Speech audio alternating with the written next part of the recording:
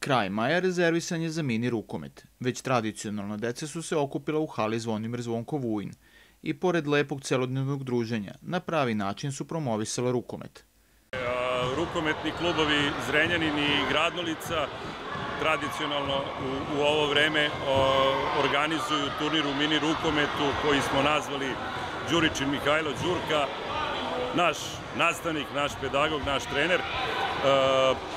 Cela priča je da deca koja su u trećem, četvrtom razredu imaju svoje turnire, da odigraju puno utakmica, da se jako lepo druže. Danas smo uz pomoć roditelja pripremili i, i lepo je osveženje za, za, za, sve, za sve učesnike.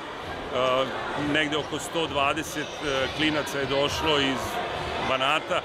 Igramo, igramo turnir svaka ekipa nekih 5-6 utakmica će odigrati i nadam se da svi uživaju.